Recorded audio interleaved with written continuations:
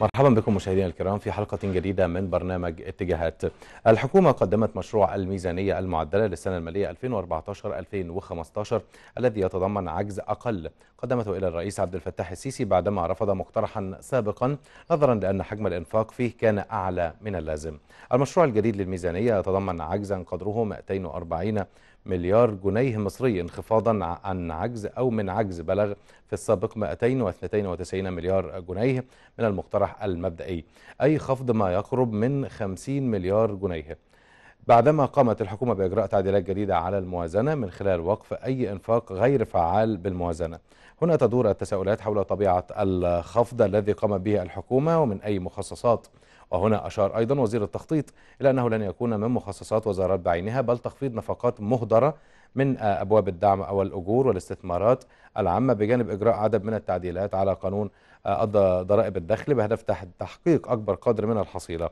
حول هذا الموضوع يشرفنا في برنامج اتجاهات الدكتور جمال القليوبي أستاذ الطاقة بالجامعة الأمريكية ورئيس مركز المستقبل للدراسات السياسية والاقتصادية. أهلا بك دكتور. أهلا وسهلا بك. دكتور يعني عايزين بلغة يعني مبسطة يعني كل يمكن عنده قلق عنده شوية من بعد الحديث عن يعني إن كان الأمر يراه كثيرون فهو شفافية من جانب الحكومة إن إحنا داخلين في عامين يمكن هيبقى في مشكلة تاثر في الكهرباء إن إن إحنا مش محتاجين مش عايزين نوصل لمرحلة إن إحنا نستدين بشكل أكثر من اللازم فلازم نتكاتف كلنا مع بعض. ولكن البعض يرى أن وجود هذا الأمر في صورة ضرائب كلمة ضرائب نفسها يمكن بتخض المواطن المصري. يعني لو حضرتك توضح لنا بشكل أكثر تفصيلا لب هذه الاقتراحات وأيضا رأي حضرتك في فكرة مشروع الموازنة الجديدة أو المعدله مبدئيا نحن نعتمد اعتماد كلي على الفترة القادمة على أن يكون في نوع من الشفافية والمصارحه وبالتالي إحنا قضينا حوالي ثلاث سنوات الثلاث سنوات عمال التضخم يزيد وخاصة الدين الداخلي.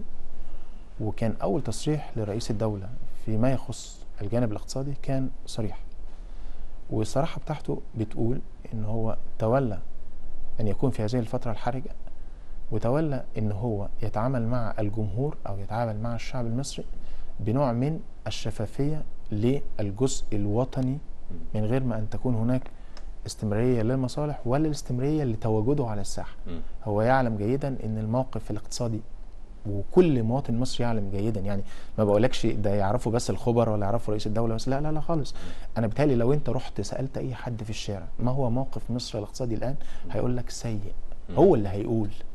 طيب هو كلمة سيء ديت هتفضل سيء بس بدرجة ولا ممكن تكون فأسوأ مم. وبالتالي كان هناك نوع من ولية لابد من بداية المعالجة. مم. بداية المعالجة كانت لابد أن يكون فيها خطط خط- خطوات استباقية تتماشى مع أول حاجة أوقف قيمة القروض المكبلة على الحكومات المتوالية والمستقبلية مم. اللي هو هيتوارثها الأجيال القادمة وبالتالي كان لازم يكون في نوع من إعادة التركيز على الخطوط العريضة المؤثرة مم. في هذا حضرتك تقصد فندم العجز القروض. بوجه عام ولا الفوائد اللي بتترتب على هذه القروض؟ أنا بكلمك على لأن الفوائد أحيانا بيبقى فيه منح ما هي المشكلة آه. المشكلة مش في القروض بس آه. المشكلة إن القروض مستمرة والمشكلة إن كمان عليها آه، آه، آه، فوائد. آه، لكن خليني أقول لك الم- ال- ال- ال- المنح اللي إحنا بنتكلم عليها ممكن تكون قد إيه من الموازنة العامة. بنتكلم على نسبة قليلة جدا ما بنتكلمش على أكثر من 5 6 7 8% ده لو زادت في أعلى متوسطات سنوية ولكن لو إحنا اتكلمنا على إن جزء المصارحة مطلوب تمام. طيب أنا صرحت الناس كلها وكانت في بداية الموازنة العامة ل 2014 إن كانت هناك أرقام تعدي 810 مليار جنيه مصري حجم الموازنة العامة المصرية. بزيادة قد تزيد على أكثر من 18 ل 21% طيب هل النسبة ديت هتفضل مع متطلبات الشعب الزياده. ولا فيها نوع من آه، الإيرادات. الإيراد اللي طالع أو اللي انت بتجيبه ممكن يكون بيزيد فانت بتدي فترة سماحية.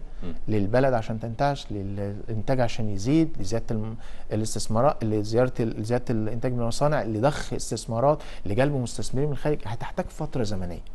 طب هل الفترة الزمنية هنستنى هنستناها كتير ولا مضطرين إحنا نشتغل فيها؟ إحنا مضطرين مع الفترة الثلاث سنوات اللي فاتت دي كلها.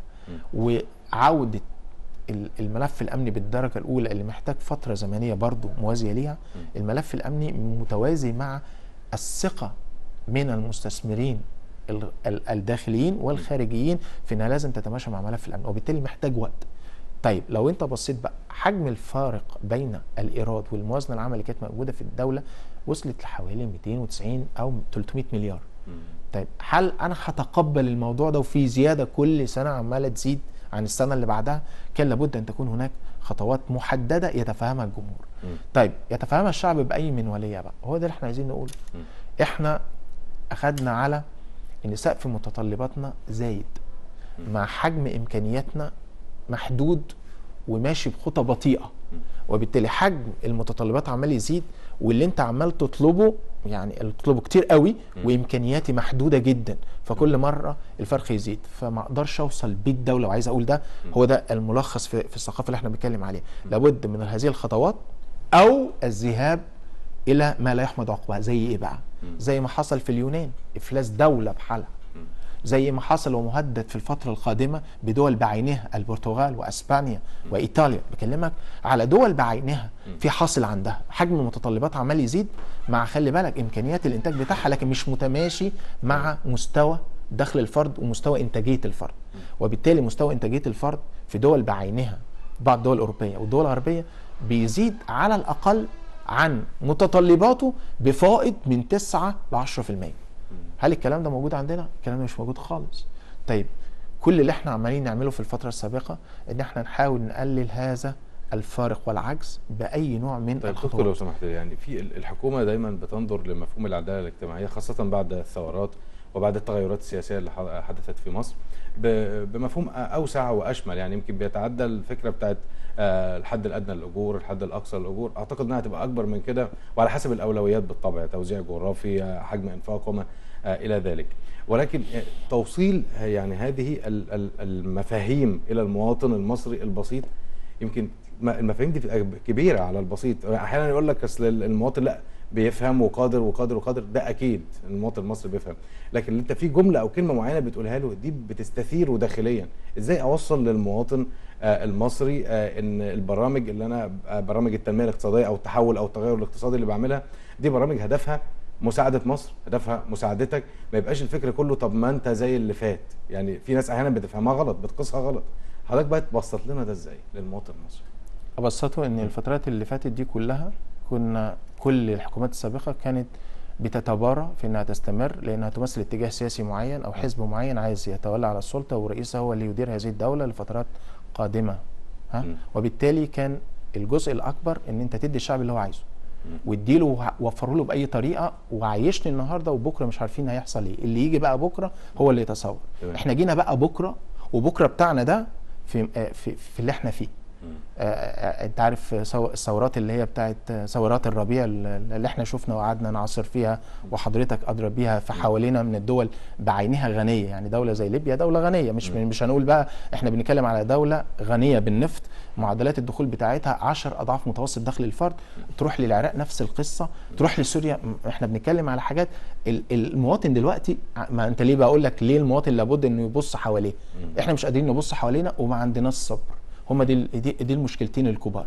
المشكلة المشكلتين دولت لازم يكون فيهم نوع بقى من التحدي. في حد دلوقتي جه عشان يقول إحنا فعلا مش هنقدر نستمر بكده. ومش هنقدر نمشي بل- بلدنا في الفترة القادمة بنوع من القروض. ومش هنقدر نحولها لإن إحنا نبقى دولة ممكن تكون عبارة عن ساحة متروكة لأي حد في أي لحظة يخش عشان يقتنص البلد بأي حاجة فيها. هذا لن يسمع وبالتالي إحنا بنقول لينا. ومش لينا بس لأن إحنا نحن من المواطنين. نحن من الشعب المصري. ولكن بنقول إحنا نحتاج إلى جزء من الصبر. ونحتاج لجزء من التحمل والوعي. الثلاثة مرتبطين ببعض. صبر تحمل وعي. صبر عشان إحنا قدرنا إن إحنا نكون في هذه المرحلة. وقدرنا إن إحنا يكون عندنا نوع من الحرمان. ويكون عندنا نوع بداية التقشف. وده مش في مش حاجة جديدة علينا كتاريخ مصري. دي موجودة. طب دكتور تقشف معناه إن ممكن يجي بعديه رفاهية أو تقشف بناء على ظروف أو بناء على إن أنا عايز أعمل ده. لكن بالنسبة لفكره وجود الضريبة رفع الدعم عن الطاقة وصولا إلى بعد ثلاث سنوات إن يبقى مش هيبقى فيه آه، هيترفع الدعم عن عن الطاقة بوجه عام. يعني طب ما ما هو اللي بيغلى مش هيرخص. اللي الخطة اللي أنت وضعتها ومخلية الكهرباء غالية أو الغاز غالي مش هينفع تتراجع فيها تاني. خلاص لأن هي بتسد لك جانب معين وأنت اتعودت كدولة أو كحكومة إن ده بيسد لك الجانب ده. طب أنا كمواطن آه، يتم التعامل معايا إزاي أو أفهم ده إزاي؟ حلو. هل أنت متصور إن استباقية الحكومة إنها هترفع بس سقف رفع الأسعار ومش فارق برضو اللي هيحصل معاه وال- والشكل العام ومتوسطات الدخول بتاع الناس والحالة العامة بتاعت الناس شكلها إزاي؟ لا هناك دراسة كاملة وأنا أنا مش بقول لك أنا متأكد. من من من خلال كل اللي أنا شايفه من خلال كل صانعي القرار من خلال كل تصريحاتهم أنا بتهيألي الآن أكثر صلاحية مما قبل. ده نقطة خطيرة جدا. نقطة رقم اثنين هم يعوا تماما إن ال- ال- الشريحة الكبيرة اللي هتصل إلى أكثر من 75% من الشعب المصري. هم الشريحة اللي هي مش قادرة تتماشى حتى مع ارتفاع الأسعار ومعدلات الدخول اللي إحنا بناخدها في مصر.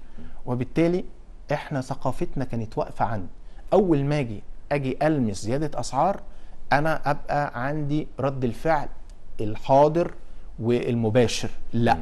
يبقى الكلام ده مش ممكن. يبقى الكلام ده لا. يبقى الحكومة دي مش مش هتنفع ومش هتستمر. ما فيش منطقية اقتصادية في العالم. وبص عليها من ولية أي دول. شوف روسيا من 2006 من 2006 روسيا اللي كان بت- بتحتاج معونات خارجية بنتكلم على 2014 2013 احتاجت قد إيه؟ احتاجت فترة زمنية. بنتكلم على روسيا اللي كان ما عندهاش آه، كانت حتى معدلات المحاصيل الزراعية بتاعتها زي القمح وزي المحاصيل السنوية بتاعتها كانت بتستوردها في جزء من الخارج. الآن روسيا عندها سلة غذاء وتست... وتورد للعالم كله. إذا الفترة الزمنية قيس عليها آه، آه، ده مثل لروسيا. قيس عليها مثل لدولة آسيوية زي إندونيسيا. قيس عليها مثل لدولة أوروبية وبكلمك على المكيال والمقياس بتاعها في ألمانيا. أنا مش هقدر أقارن نفسي بألمانيا لكن أنا بتكلم على ألمانيا وقت ما حصل فيها نوع من الاتحادية الألمانية وعشان توصل بنوع بكل المنتج بتاعها وبالدخول بتاعت الناس بتاعتها احتاجت فترة زمنية. إذا لابد إن الصبر بتاعنا يتماشى مع الفترة الزمنية. دي نمرة واحد. تمام. الحاجة المهمة تانية برضو إن الحكومة وضع سقف لمنواليه رفع الدعم. لأن أنت محتاج دلوقتي تخش مستشفى تلاقي فيها حاجة. محتاج تخش لل... لل... للفصل بتاع المدرسة تلاقي فيه تختة وتلاقي فيه بشاورة وتلاقي فيه سبورة. عشان أعمل كل الحاجات دي كلها مش هقدر أستمر برضه بميزانية موازنة التعليم. محدودة وعمال آخد منها وآكل منها في مقابل ملف الدعم الحكومي. بالتالي المواطن الآن هو ممكن يلاقي حاجة.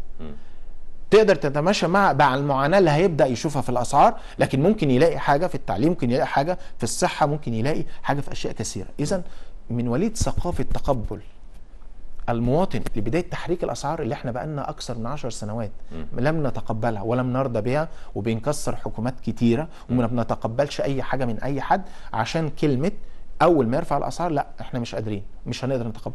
إحنا مش ال ال ال الواضح في الحكومة إنه مش هيرفع الأسعار بالدرجة الأولى قد ما هي من ولية الطاقة. طيب ليه بقى الطاقة؟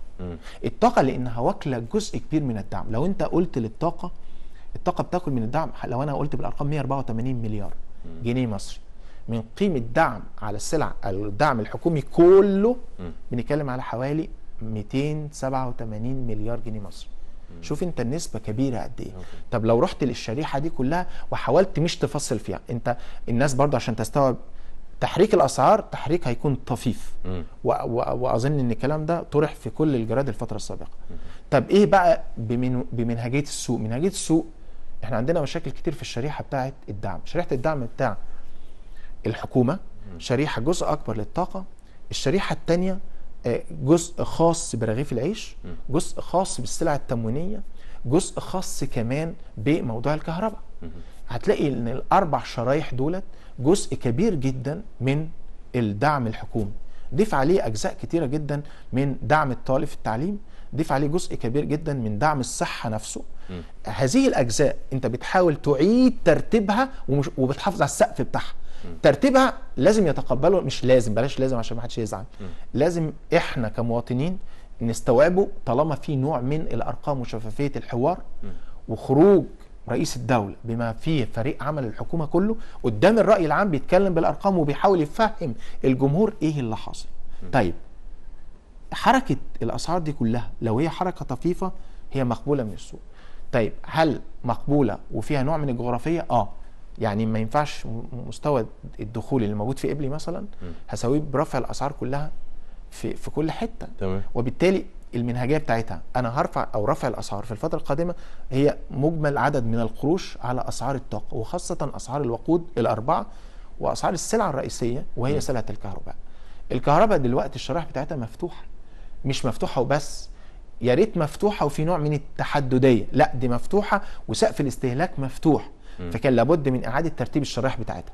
مش هينفع اللي بيستهلك 2000 زي كيلو فكره العداد مثلا يا فندم؟ تمام. يعني في ال 10% ال 10 حاجة ال 40 و- و- واط حاجة ده تمام. المقصود. الشرائح أنا هقولها لك. آه. ولكن أنا بتكلم على منهجية الثقافة دلوقتي.